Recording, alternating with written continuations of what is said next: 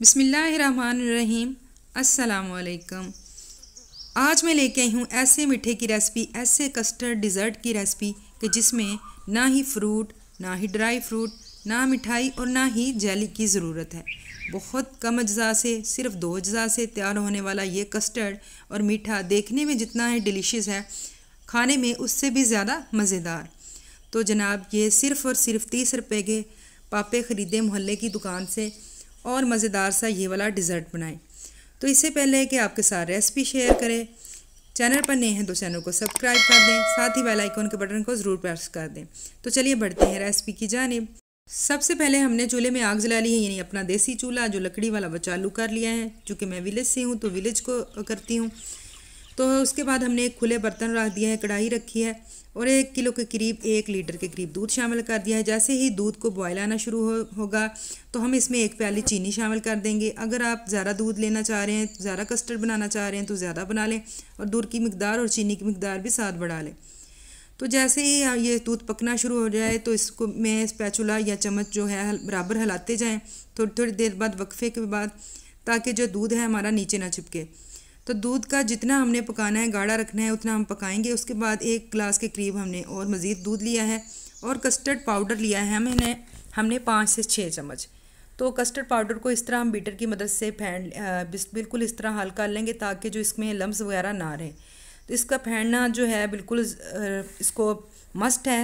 अगर इसमें कोई लम्स वगैरह रह गया तो कस्टर्ड का जो है ना गुठलियाँ बन जाएँगी। तो इस तरह आहिस्ता आहिस्ता जो है हम इसमें शामिल करेंगे और साथ साथ स्पैचुला या जो भी कह लें आप बीटर हैंड बीटर जो है वो भी चलाती जाएँ साथ साथ ताकि जो है कस्टर्ड में गुठलियाँ ना बने। अब इसको थोड़ी थोड़ी देर बाद यानी कि हल्की आग पर हम इस तरह पकाते जाएँगे।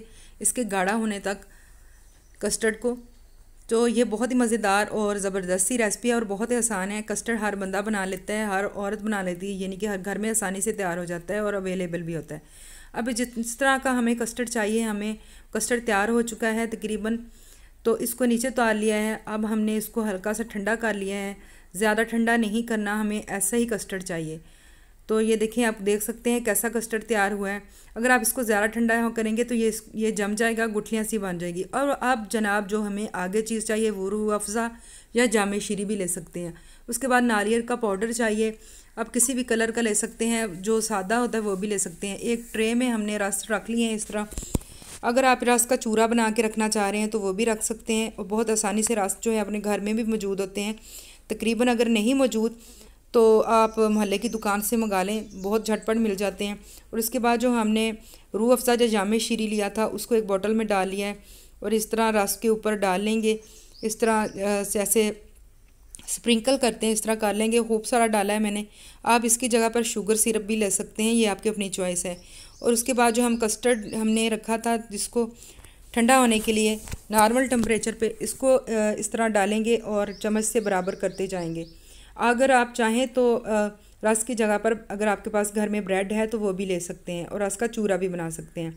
उसके बाद जो हमने नारियल का बरादा लिया था, यानी कि कोकोनट पाउडर वो हम इस तरह साइडों पे स्प्रिंग कर देंगे या अपनी मर्ज़ी के हिसाब से आप डिज़ाइन वगैरह इसमें बना सकते हैं। बहुत ही आसान और झटपट आप देखें रेसिपी बन जाने वाली है।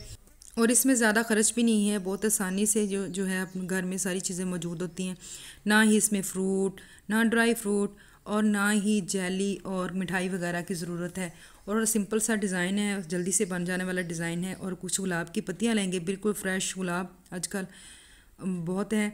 घर में, हर घर में तकरीबन मौजूद होता है। अगर आपके पास गुलाब की पत्तियाँ नहीं हैं तो आप इसकी जगह पर कुछ और भी, कुछ भी लगा सकते हैं। कुछ ना कुछ किचन में मौजूद होगा, लेकिन गुलाब की पत्तियाँ बहुत खूबसूरत लगती हैं और येलो के ऊपर और ग्रीन के ऊपर ख़ास तौर पर। अब जनाब, ये कस्टर्ड जो हमारा रेडी हो चुका है, इस डिश को जो है हम बाउल को फ्रिज में रखेंगे। अगर आप जितना ठंडा करना चाह रहे हैं, उसमें रखें। फ्रीज़र में बिल्कुल नहीं रखें।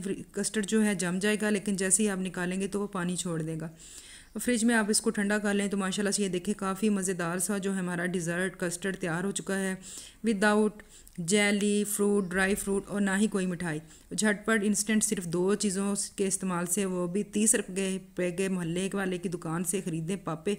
और मज़ेदार सा ये देखें, देखने में कितना डिलीशियस है और खाने में तो बहुत ही मज़ेदार सा डिज़र्ट तैयार हो गया कस्टर्ड तैयार हो गया। उम्मीद है कि आप लोगों को आज की मेरी वीडियो रेसिपी पसंद आई होगी। रेसिपी पसंद आई है तो ज़्यादा से ज़्यादा